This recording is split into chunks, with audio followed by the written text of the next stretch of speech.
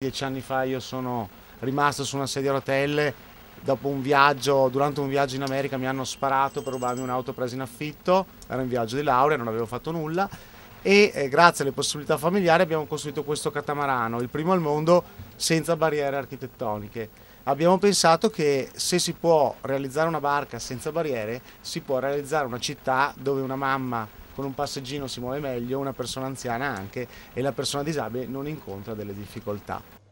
A raccontare questa storia, accaduta circa dieci anni fa, è Andrea Stella, vicentino di 34 anni. La sorte gli ha riservato un terribile incidente, ma quelle pallottole hanno fatto nascere un altro ragazzo che non ha mollato, se non gli ormeggi, per navigare in mare aperto con un catamarano speciale, dove non ci sono barriere architettoniche per lui e per quanti, come lui, costretti sulla sedia a rotelle o con altri handicap.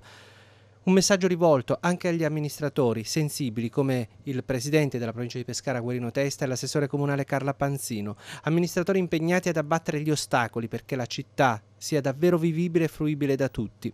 Ogni giorno un gruppo di persone disabili sarà ospitato a bordo dello Spirito di Stella con i loro accompagnatori. Quella alla Marina Porto di Pescara, la quarta tappa del tour velico Spirito Libero. È partito il primo maggio da Jesolo Arriviamo il 10 ottobre a Genova, nove porti d'Italia in cui eh, per 70 giornate ospiteremo a bordo circa 600 persone. Lo spirito di Stella, Andrea Stella, è questo, non sempre, anzi mai è possibile sceglierla, la propria vita.